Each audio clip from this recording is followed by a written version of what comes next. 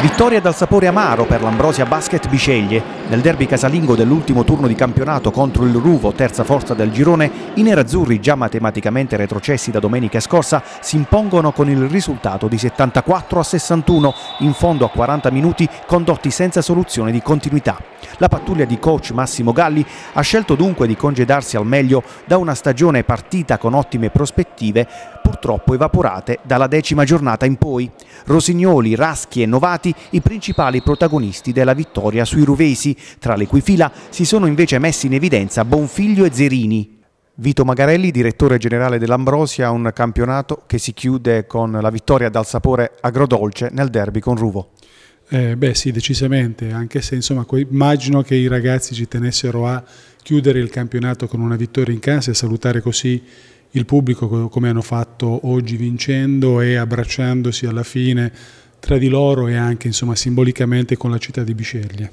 I numeri della stagione nerazzurra parlano di 12 vittorie a fronte di 18 sconfitte, un bilancio che Magarelli commenta così. Beh, il rammarico ovviamente è grande, anche se eh, diciamo, siamo completamente sereni. Noi abbiamo affrontato questo campionato sapendo, essendo una matricola, di dover in qualche modo lottare fino all'ultima giornata. Poi mh, sapevamo anche che le serie retrocessioni dirette in qualche modo erano un elemento difficile da superare. Possiamo solamente insomma, immaginare che se avessimo fatto questo campionato l'anno scorso, oggi con le 12 vittorie ci saremmo salvati.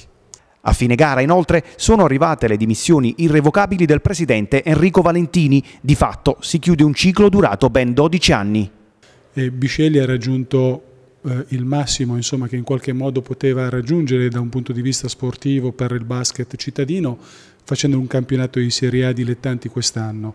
Eh, il dottor Enrico Valentini è stato presidente di questo eh, sodalizio per 12 anni, dopo questa esperienza insomma, ha deciso di passare la mano e ad Enrico vanno diciamo, i miei personali, ma immagino eh, gli auguri di tutti gli sportivi biscegliesi per quello che ha fatto per questa città e per questo sport.